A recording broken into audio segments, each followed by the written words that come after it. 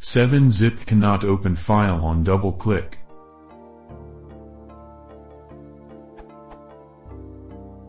I have installed 7-zip on my machine and associated it with several archive file types.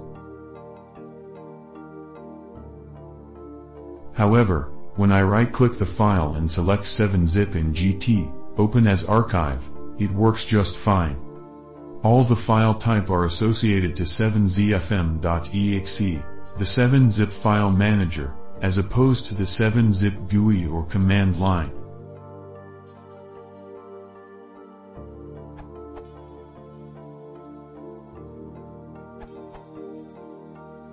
Some registry keys were pointing to an x86 version of 7-zip, which for some reason can't handle being invoked directly on this machine.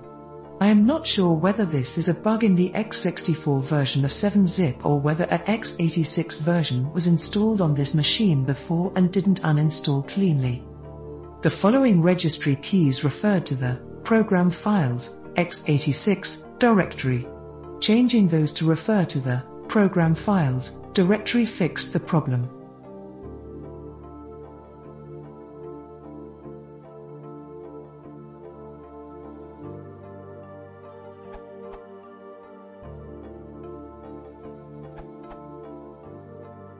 The problem is that the default is opening with 7ZG, GUI, while it should open with 7ZFM, File Manager.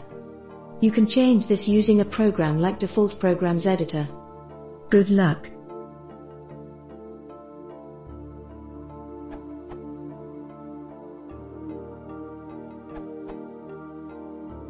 You could try to reset the associations from within 7-zip file manager.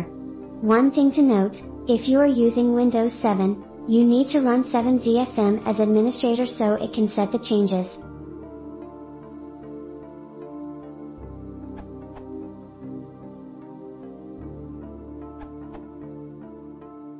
As mentioned in a comment by at Rolf Bully, this can also be resolved as follows, Windows 10.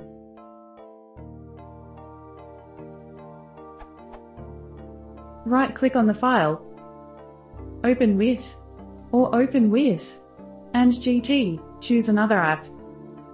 The Always use this app to open .7z files checkbox at the bottom of the pop-up. Click More Apps. Scroll to the bottom of the list, click Look for another app on this PC. Navigate to the 7zfm.exe application, typically in Program Files slash 7zip. Select the 7zfm.exe application, OK.